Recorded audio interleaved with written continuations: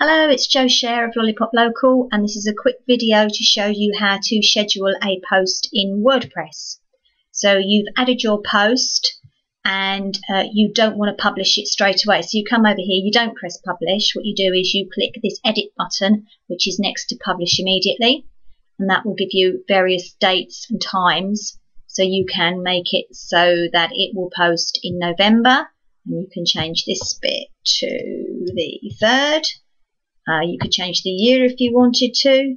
You can change the date, oh, sorry, the time. So it's 12. You get the picture, 18. Then you click OK when you're happy with the date, and then you schedule it.